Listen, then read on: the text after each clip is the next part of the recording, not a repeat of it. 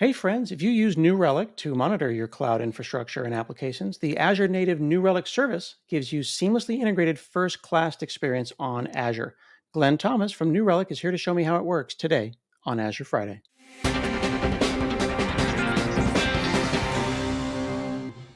Hey friends, I'm Scott Hanselman and it's Azure Friday. I'm here with Glenn Thomas from New Relic. How's it going, sir? Good. How are you doing, Scott? I'm very well, always ready to learn. And today I'm going to learn about the great stuff that's happening over at New Relic, like the Azure native New Relic service, as well as some other innovations that you all are here to share with me today. Definitely. Excited to show you about uh, the Azure native New Relic service. Um, we'll talk about how to set that up, and uh, then we'll do a quick demo of troubleshooting uh, an Azure app uh, in New Relic.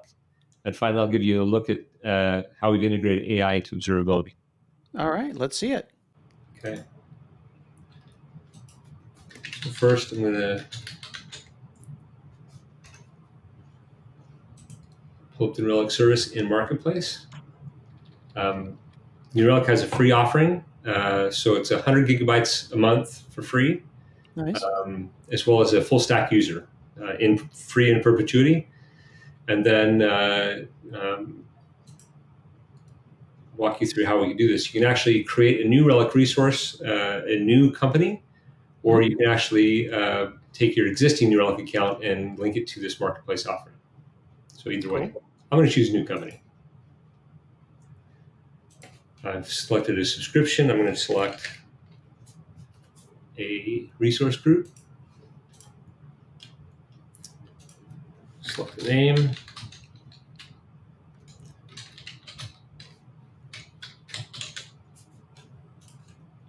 Region. We've already pre-selected uh, the uh, metrics and the logs. Um, if you want, you can filter things so you can uh, uh, take less of the metrics uh, or more of the logs. And you can also add tags. So pretty straightforward. At this point, I can go ahead and create it. Uh, since that takes some time, I'm actually going to show you one that I've already created. Okay. Do a little Julia Childs here where we'll pull the baked cake already out there. Yeah. So here's my um, my existing uh, Azure Native New Relic uh, service. Uh, a couple things I want to show you real quick. So for instance, here under the monitoring, I can, I can actually see all the things that are currently being monitored from Azure that are sending logs and metrics to New Relic.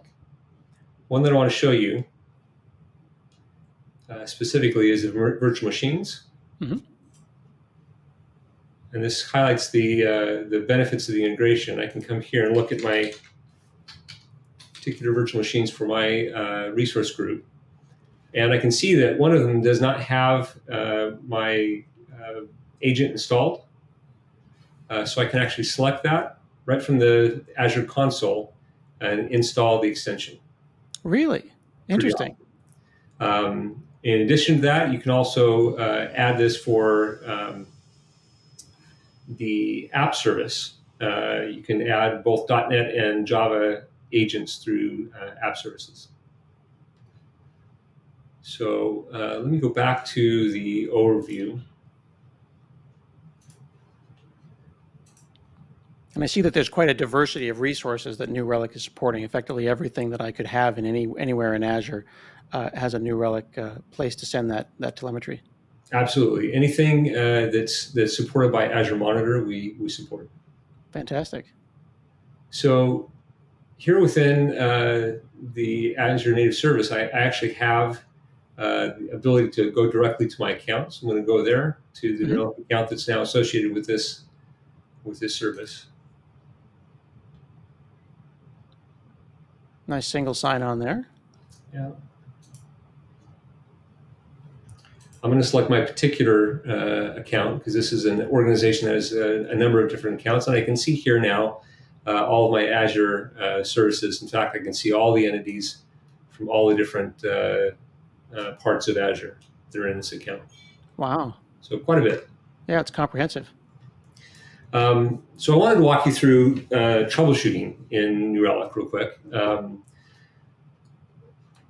if I was uh, to get a uh, uh, an alert this morning um, a Slack this morning about uh, some problems, um, I would first log into New Relic and I'd come to um, errors inbox just to kind of take a look at what's trending. So I'm going to look back over the last 12 hours. At 10 o'clock this morning, uh, I had an issue come mm. up. And I can see in here uh, a number of different groupings of the errors, and I can see that they're all, they all have to do with the checkout service. So I'm going to look at the checkout service specifically.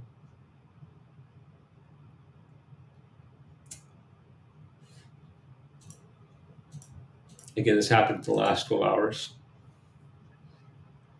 So when I come in here, I can see that there were some critical issues uh, that were open. I can also see that there were some deployments. Uh, one deployment kind of correlates to when the, the problem started. Another looks like it finished. Uh, when, when it finished, it looks like someone beat me to the punch here, but I'm going to look and see what exactly uh, they were doing because it looks like they may, may be related to the problem, uh, maybe not. Um, but first, before I go there, I want to actually look at um, what is the infrastructure doing that's related to this particular application. So I can scroll down and look at infrastructure specifically related to this application. You can see that there really wasn't any change in CPU or memory. So it didn't look like there were actual app, uh, infrastructure problems. So I'm going to go into distributed tracing to kind of look at uh, a deeper dive on the application itself.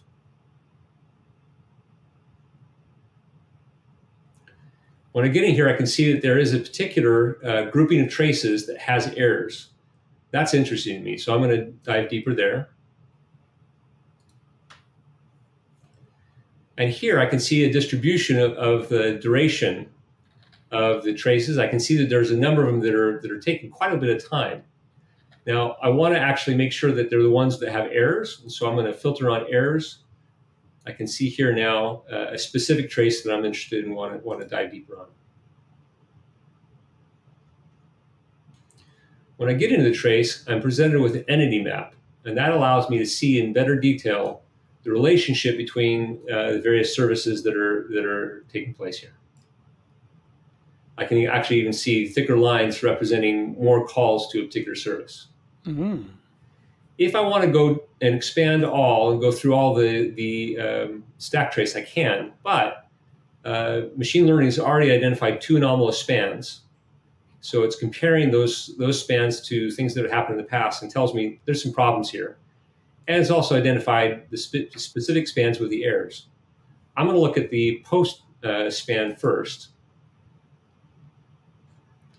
I can come in here and actually look at the error details, and I can see really quickly it's a 500 error. That's that's a problem. So uh, if I look at the attribute details, I can see that this happened in the front end application. That's kind of at the surface. I'm not. Uh, I need to like dive a little deeper here to find the problem. So I'm going to go in and look at the other error.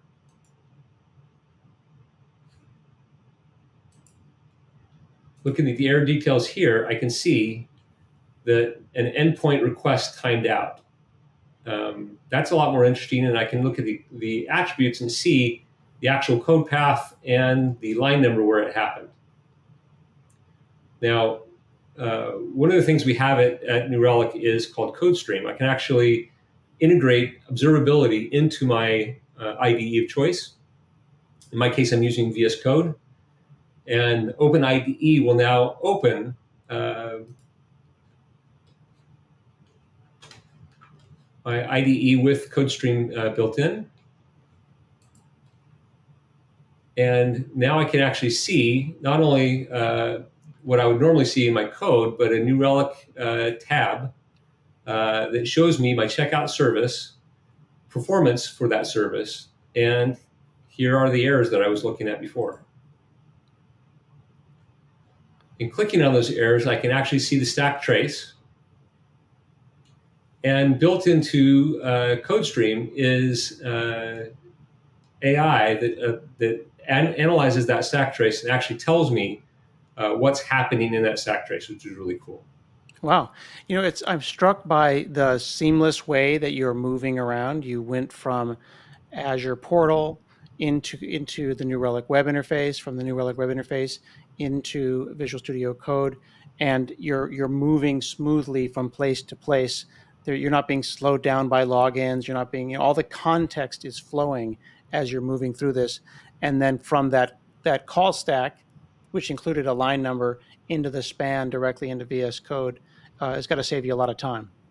Absolutely, that's the that's the intention, and and to get where you're doing most of your work, uh, and be able to see not only the performance, uh, but also to have AI uh, interpret for you some of the things that are going on and make suggestions is pretty powerful.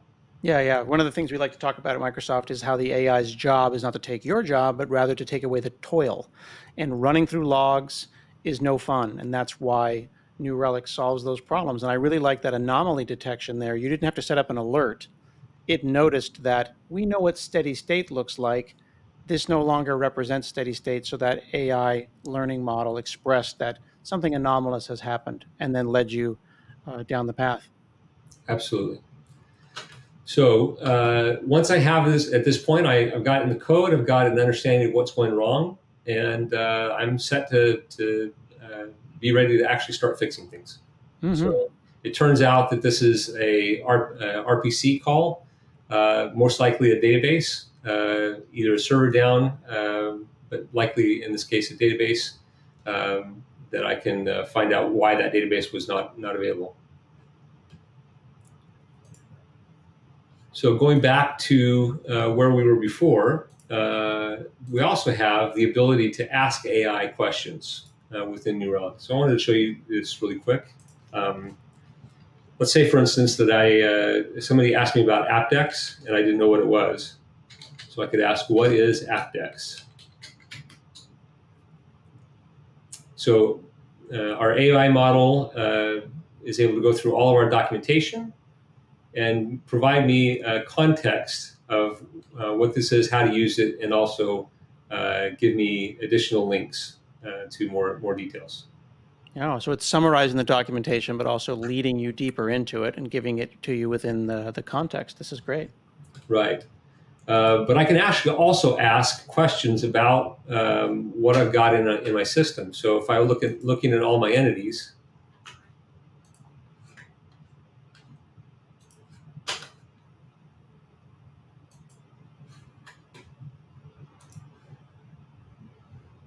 So I can ask AI, uh, how many Kubernetes containers are running on my VMs right now?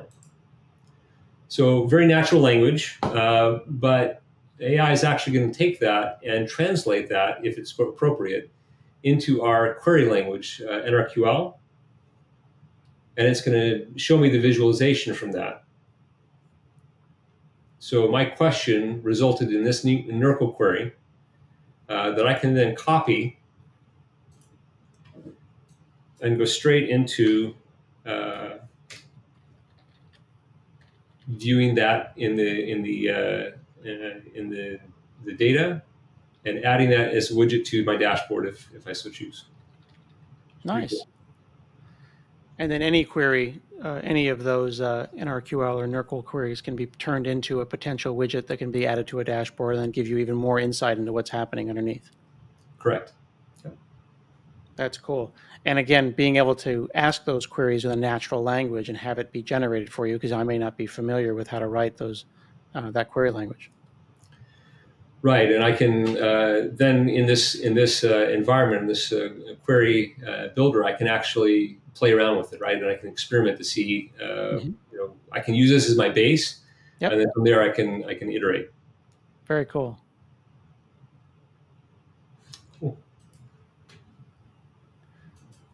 So this this native integration into uh, into Azure, the ability to pop around and jump back and forth, you know, why is that better? In the old days, what would I have to do to tie all this together? I noticed that you didn't have to do any correlation, you didn't have to set up any subscription keys. It's just natively set up. It sounds like it's a quite a bit easier than it may have been in the past. So much easier than the past. In the past, you'd have to go from both sides, uh, using the right uh, keys, using the right uh, interfaces to to set them up and to link them. Uh, now it's all done for you. It's very yeah. very seamless. Uh, managing agents uh, is also very seamless, and I can uh, from my Azure console, I can see the things that pertain to Azure and things that I'm that I'm interested in in uh, managing. I can do it all from Azure. Right, and then you sprinkled a little bit of AI in there and some anomaly detection with just the right amount of kind of removal of the tedium So if you think about two different examples where you took toil away, all the correlation, having to hook it up from both sides, not a problem. We've got Azure native integration. We've got that that marketplace that we saw how quickly it was to set up. Then finding my error and being able to ask questions with the Ask AI feature.